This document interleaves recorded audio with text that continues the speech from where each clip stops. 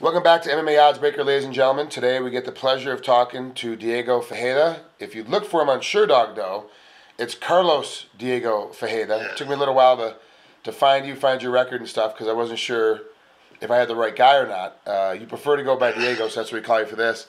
How you doing? Uh, I'm doing very good right now. I'm been like I get back from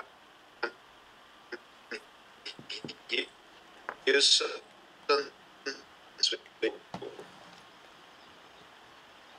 What's uh what's your weight like right now? Right, right now I'm still 165. Okay. Now I'm trying cut cut the last weights It's for the last week, and, and I already I'm I'm ready, you know, for this fight coming up. My weight's been great. I lose the weight, and my camp has been help me and everything. I've been really good. Who who are you training with for this fight? For this fight, I have like a two special uh, like a Tony from the Silverback and uh, Cooper, and uh, uh, both like a really great coach and on, on Houston, and we make a camp at the Silverback. Oh, Uh, and yeah, Silverback gym in Houston, and I, I do everything, all my train over there. Um, how is uh how has it been getting ready? You're getting ready to fight Carlo Prater in uh in uh, um, Legacy coming up. How's it been getting ready to fight someone like like Carlo? It's it's for me it's kind of really hard you know because you have to be ready for everything you know and he's a black belt and he's a we he have a really more experience over me on uh, MMA and I, I have to be ready for everything not just to stand up or, or Muay Thai or Jiu-Jitsu or takedowns defense. now I, I think I have to be ready for everything. You know, it's kind of hard, but I, I I've been doing great. I have a really good camp. I have a good instructors. I have a good coach, and but I do my my, my best.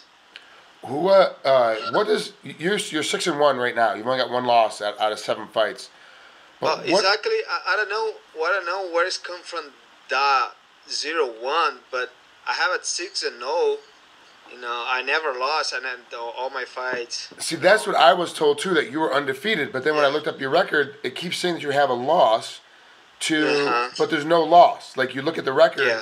You scroll through it. There's no losses on there, but somehow they yeah, put a, they put I, a one. I don't know what uh, going on with the uh, or the website where like everybody tell me before like I have a eight fights and uh, I I fixed one time and after there he fixed but still like a one but I don't know why but I have a six and oh.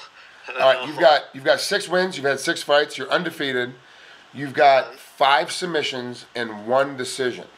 one decision. Now, Yeah. battling against a guy with like Prater, who's very good at submissions, your normal game isn't going to work. So, how Yeah. how much of an adaptation? How many things do you have to change in your camp to get ready for Prater? my camp uh, we we get away from like a more the um, the game he's have like a long legs uh, long range because i'm a short guy uh, and he's kind of long but he, he have a good wrestling you know.